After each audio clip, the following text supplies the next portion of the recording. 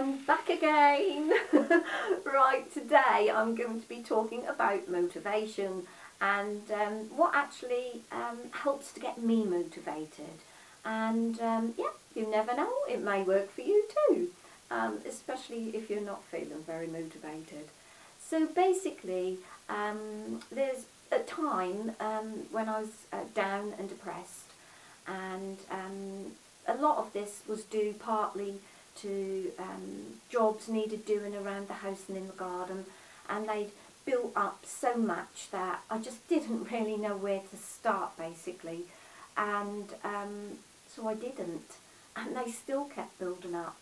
And it was getting me down. I'm going round in a vicious circle here and looking at all these jobs what needed doing and letting them build up. And so I thought hey what can I do? I know I'll get myself a paper and pen and I'm going to go around the house and I'm going to go room by room and I'm going to make myself a list.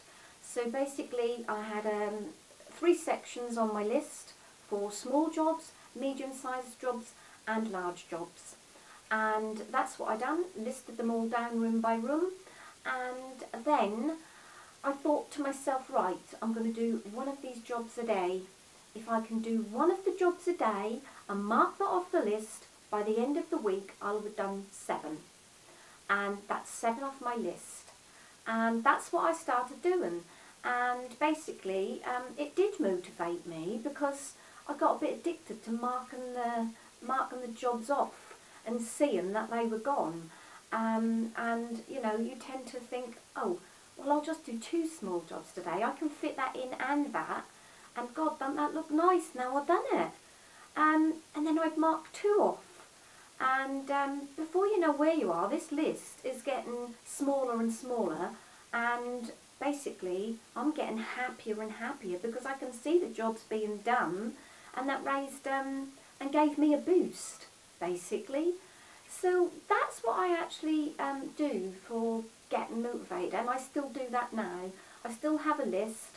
I still go round um, because you might see a little job and think I'll do that later on and then you forget about it. So um, I, I write them down now and then my jobs I can then just mark off as I go. And um, that's basically what I do and how I get motivated. So um, I hope that's been of help to you. Go get your paper and pen out, make yourself a list and um, start marking them off. Um, good luck with it and um, hope to see you soon. Bye bye.